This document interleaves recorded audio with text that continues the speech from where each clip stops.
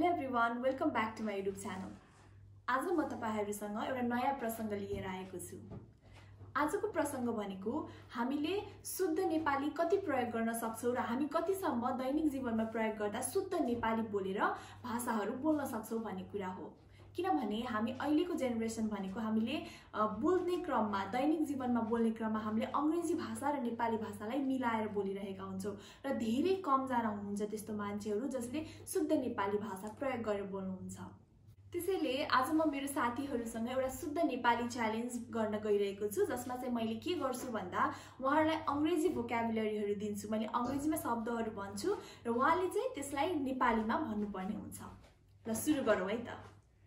आजको मेरो पहिलो गेस्ट हुनुहुन्छ विमल विमल तिमीलाई स्वागत छ। थ्याङ्क यू ओके तिमी आजको च्यालेन्जको लागि रेडी हो?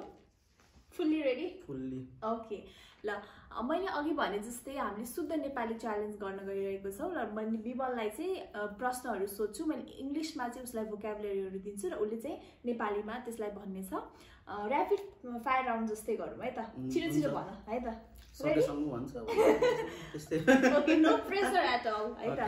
ल। सो ऱ्यापिड फायर हुन्न। जस्ट ऱ्यापिड फायर राउन्ड जस्तै तिमी छिटो छिटो भन्ने प्रयास गर तर त्यस्तो. प्रेसर चाहिँ लिनु पर्दैन है त? ल फर्स्टमा चेन्जलाई नेपालीमा के भन्ने?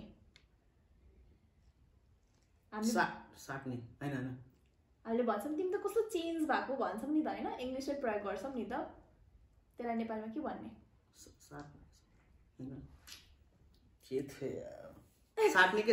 साट्ने होइन? साट्ने त रिटर्न भयो नि त होइन?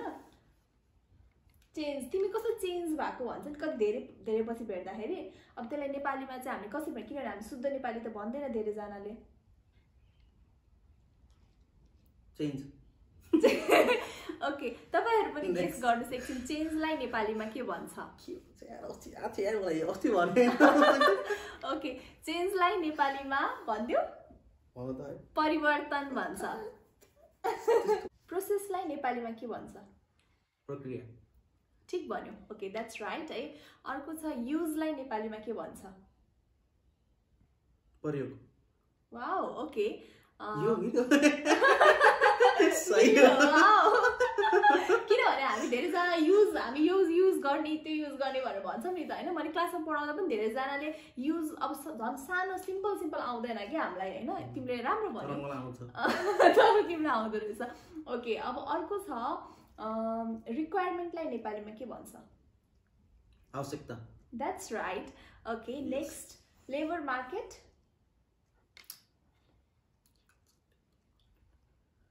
कामदार बजार। बजार ठिक छ मार्केट? लेबरलाई? लेबर। के भन्छ लेबर कामदार बजार। श्रम बजार। हुन त अब लेबर भनेको कामदार पनि मिल्छ होइन?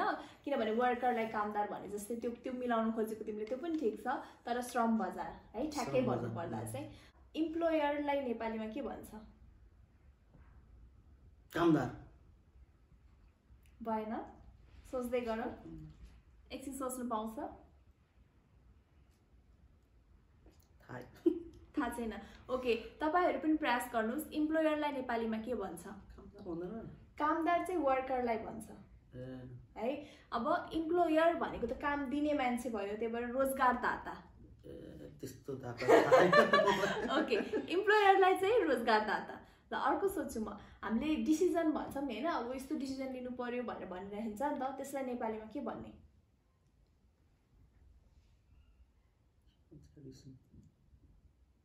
डिसिजन अब केही न कुराको। डिसिजन लिनु पर्यो भन्छ। हामी नेपालीहरूले त यही हो हाम्रो समस्या भनेको होइन? धेरै जस्तो अङ्ग्रेजीमा प्रयोग गरेर हुन्छौँ नि त। भने त भने भने जस्तो होइन डिसिजन भनेको अब मैले अब यो कुराको डिसाइड गरेर म जाँदैछु भन्ने कुरा। You need to take decision on this thing भनेर भन्नु भन्नु पर्दाखेरि नेपालीमा के भन्ने।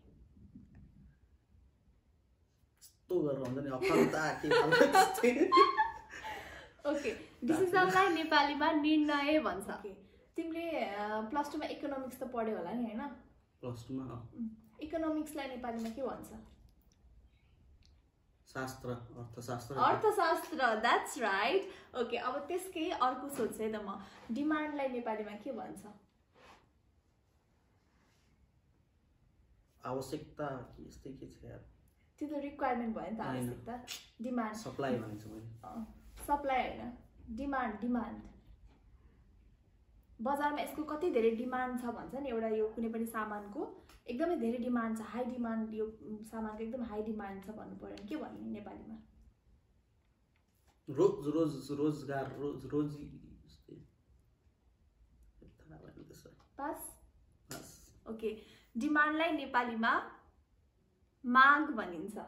ओके यो यो वस्तुको एकदम धेरै बजारमा माग छ भनेर भन्छ नि। डिमान्डलाई माग। होइन? र अर्को रहेको छ टपिकलाई नेपालीमा के भन्छ?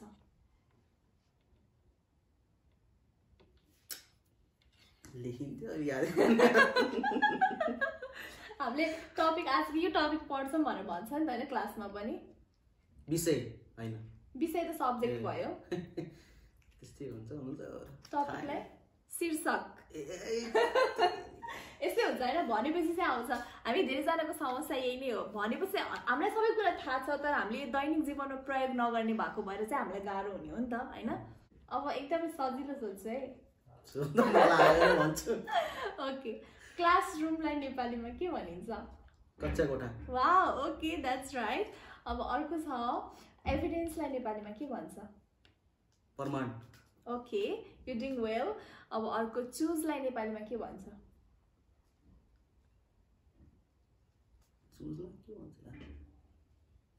हामी चुज गर्ने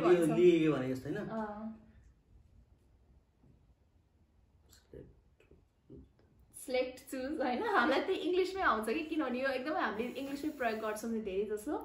यो मैले यो चुज गरेँ यो सिलेक्ट गरेँ भन्छौँ नि त होइन। अब नेपालीमा चाहिँ के भन्छ। त्यसलाई? टिपे होइन।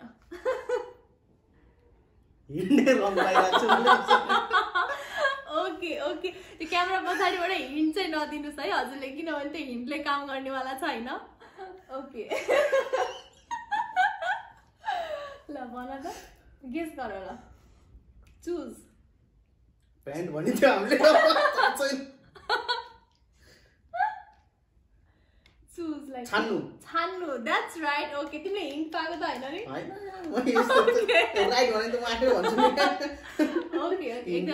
पर्फेक्ट पर्फेक्ट राम्रो भयो। तिमीलाई आज कस्तो लाग्यो त प्रयास? तिमीले राम्रो प्रयास गर्यौ होइन? किनभने अब हाम्रो अहिले नेपाली शुद्ध नेपाली बोल्नु पनि यो हामीलाई एकदम एक प्रकारको च्यालेन्ज नै भइरहेछ कि होइन? अब त्यो कुरालाई पनि तिमीले अब राम्रोसँग नै प्रयास गरेको छौ। कस्तो लाग्यो त आज तिमीलाई? ठिकै लाग्यो जाने जस्तो लाग्यो हल्का फुल्का। हल्का फुल्का। अब चाहिँ शुद्ध नेपाली प्रयोग गर्ने कि नगर्ने? ओके पक्कै पनि अब हामीले चाहिँ शुद्ध नेपाली प्रयोग गर्नु गर्ने प्रयास चाहिँ गर्नुपर्छ जस्तो लाग्छ मलाई। Okay thank you so much thank you so much for coming thank you म हजुरहरूलाई आज क्वेसनहरू सोध्छु होइन। म चाहिँ एउटा इङ्ग्लिसमा भोकेबुलरीहरू भन्छु वर्डहरू इङ्ग्लिसमा भन्छु अनि हजुरहरूले चाहिँ त्यसलाई नेपालीमा भन्नुहोस् है त। ऱ्यापिड फायर राउन्ड जस्तै छिटो छिटो भन्नु पऱ्यो है त। हजुरमध्ये दुईजनालाई जसलाई आउँछ त्यसले भन्दा हुन्छ। ए, है? धर्म सङ्कट त होइन है त। ल, रेडी रेडी ओके चेन्जलाई नेपालीमा के भन्छ? परिवर्तन। वाउ द्याट्स राइट ओके युजलाई नेपालीमा के भन्छ? प्रयोग। वाउ दाइ त खतरा हो। ल अर्को है त। ग्यारेन्टीलाई नेपालीमा के भन्छ? ग्यारेन्टीलाई नेपालीमा ग्यारेन्टीलाई ग्यारेन्टीलाई ग्यारेन्टीलाई के भन्छ?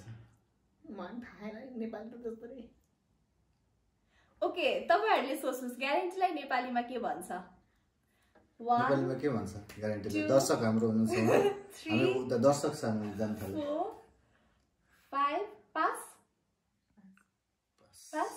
ग्यारेन्टीलाई नेपालीमा प्रत्याभूति भन्छ। सुन्नुभएको थियो? सुनेको थिएन प्रत्याभूति सुने सुन्नुभएको थियो है। ओके ग्यारेन्टीलाई नेपालीमा प्रत्याभूति भन्छ यो त हजुरलाई आउँछ जस्तो लागिरहेको छ त्यही पनि है। डोमेस्टिक एयरपोर्टलाई नेपालीमा के भन्छ? डोमेस्टिक एयरपोर्टलाई नेपालीमा चाहिँ डोमेस्टिक भनेको चाहिँ हाम्रो यो डोमेस्टिक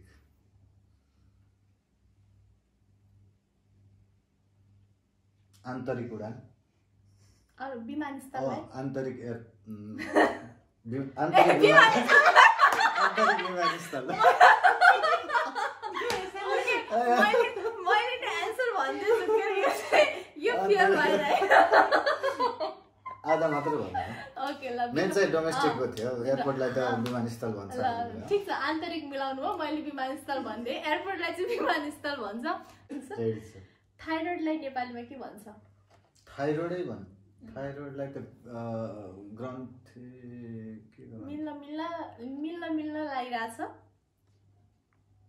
ग्रन्थि त भन्छ के ग्रन्थि भन्छ थाइरोइडलाई गल ग्रन्थि गल ग्रन्थि थाइरोइडलाई नेपालीमा गल ग्रन्थि भनिन्छ। र अर्को पसलाई नेपालीमा के भनिन्छ? रोक्नु? पियुएस पियुएस के भन्छ? यो चाहिँ नर्सिङ पढेको लाग्छ हजुर साइडबाट हेल्प चाहिँ नलिनु। किनभने साइडमा हेरिराख्नु भएको छ? हजुरले। होइन होइन। त्यो त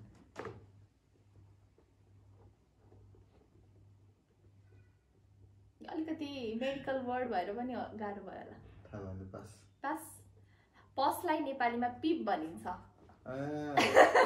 यो चाहिँ अलिकति गाह्रो भयो। ल अर्को। हार्ट एट्याकलाई नेपालीमा के भनिन्छ? हार्ट एट्याकलाई नेपालीमा चाहिँ हृदयघात wow that's right you did well है। अब अर्को रहेको छ डिपार्चरलाई नेपालीमा के भनिन्छ? डिपार्चरलाई नेपालीमा चाहिँ जानु भनिन्छ। जानु भनेको? भनेको अब के भन्छ त्यसलाई डिपार्चरलाई ठेटै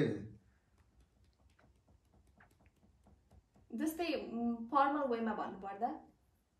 प्रवेश मार्ग होइन र? के भनिन्छ? डिपार्चरलाई नेपालीमा के भनिन्छ ल एकचोटि सोच्नुहोस् त। प्रवेश मार्ग होइन सबै त प्रस्थान। ए प्रस्थान। प्रस्थानको भन्नु। प्रस्थान भनिन्छ। डिपार्चरलाई नेपालीमा प्रस्थान भनिन्छ अर्को रहेको छ हजुर क्वारेन्टिनलाई नेपाली हामीले अलिक क्वारेन्टिन बस्ने यताउता भनिरहेको छ नि त होइन? क्वारेन्टिनलाई चाहिँ नेपालीमा के भन्ने? क्वारेन्टिनलाई चाहिँ क्वारेन्टिनलाई चाहिँ के भन्ने? तर यसको चाहिँ ठ्याक्कै नेपाली छैन। हजुर ठ्याक्कै नेपाली शब्द सोच्नु भयो होला तर ठ्याक्कै नेपाली चाहिँ छैन। Pass.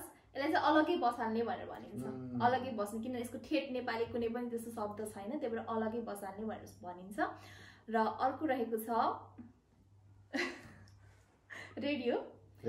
Immigration department that's right है त्यसको लागि चाहिँ वेल डन मलाई आशा छ कि तपाईँहरूलाई आजको यो भिडियो पक्कै पनि मन पर्यो होला। यदि मन पर्यो भने please do like share and subscribe to my YouTube channel thank you bye for now